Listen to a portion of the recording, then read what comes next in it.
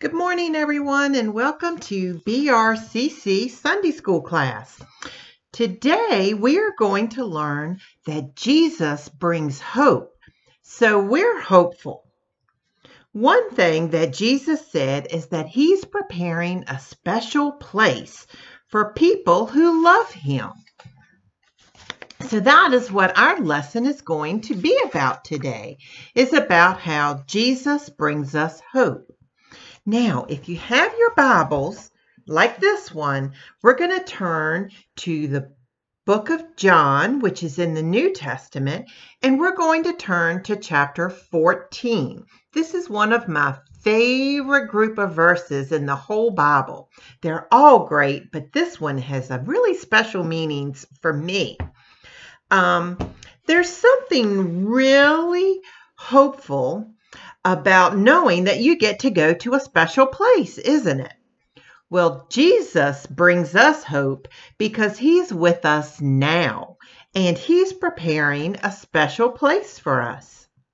Let's see what else he said about that in the Bible. Now, we've talked about this before, but the Bible is a really special book, unlike any other book you read and it's full of hopeful messages. Plus, with the Bible, God is right here with you, ready to talk to you.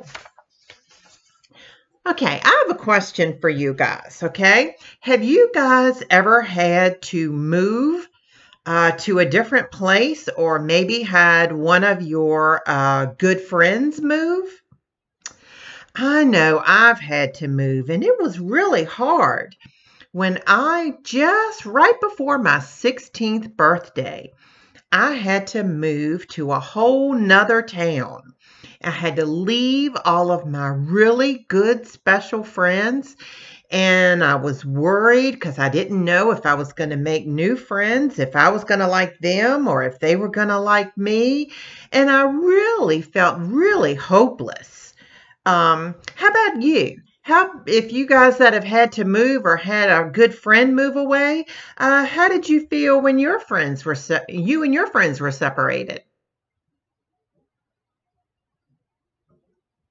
Yeah, I know you guys were sad too.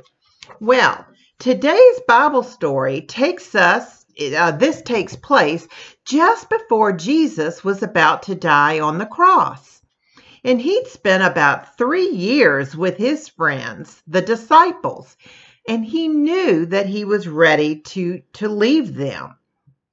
And that could have felt like a hopeless time to the disciples, just like it felt like a really hopeless time to me when I had to move. Because after all, they had left everybody they knew and their friends and everything they had, they just left to follow Jesus and I'm sure they were wondering what they were going to do without him.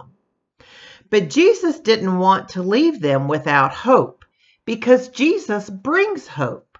So he said a bunch of things that would help bring them hope. What he told them, well, that can bring us hope too. Let me share with you what Jesus said, and this is something that brought me hope. So we're going to turn to the book of John, and we're going to look in chapter 14. And right now, I'm going to read verses 1 through 3. Jesus said, Don't let your hearts be troubled. Trust in God and trust in me. There are many rooms in my Father's house. I would not tell you this if it were not true. I am going there to prepare a place for you. After I go and prepare a place for you, I will come back. Then I will take you to be with me, so that you may be where I am. Wow, that's a pretty comforting uh, uh, verses, aren't they? And they certainly bring us hope. So let's close our eyes and imagine that Jesus is preparing a place for you. Okay, so close your eyes and imagine the very best, best room that you can think of. Think of how that room would be designed and what would be in it. Okay, think hard. You got that room in, in your mind? All right, so think about that room as, as we finish our lesson. When Jesus said there's plenty of room in his Father's house, he was saying that there's going to be lots of room in heaven. There's a room for me there. There's a room for you there. There's a room for all people who love Jesus there. And Jesus is preparing that place just for us. It'll be better than that room that we just imagined in our minds. And that brings us hope. All right. In our story, one of the disciples, whose name was Thomas, he felt really confused about the way to the place that Jesus was was preparing. He didn't quite understand it and he didn't know how he was going to get there. So let's read Jesus' answer to him. So we are going to read verses 4 through 7. And that says, You know the way to the place where I am going. Thomas said to Jesus, Lord, we don't know where you are going, so how can we know the way? Jesus answered, I am the way and the truth and the life. The only way to the Father is through me. If you really knew me, then you would know my Father too. But now you do not know him, and you have seen him. All right. What does it mean that Jesus is the way? Well, Jesus is the way, the truth, and the life for everyone. The way to heaven is by loving Jesus and following him. That's a really amazing message of hope.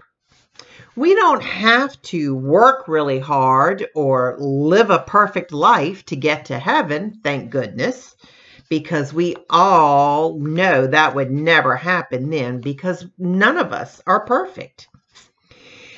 Uh, but Jesus brings hope. He made a way for us to get to heaven when he died on the cross. And that hope isn't just for heaven. Loving and following Jesus gives us a more hopeful life here on earth. When we believe in Jesus, we can find hope even in the hopeless times when we're sad or we just feel like nothing's going right. Jesus even left us the Holy Spirit so that we know that God is with us right now. When things feel hopeless, turn to Jesus for hope. He's happy to give us hope for today, plus hope for an eternal life in heaven. Jesus brings hope. All right, guys.